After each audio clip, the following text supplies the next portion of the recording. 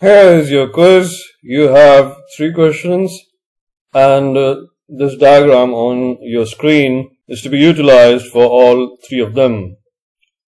When you're done, write your answer in the dialog box that will appear at the end of the video.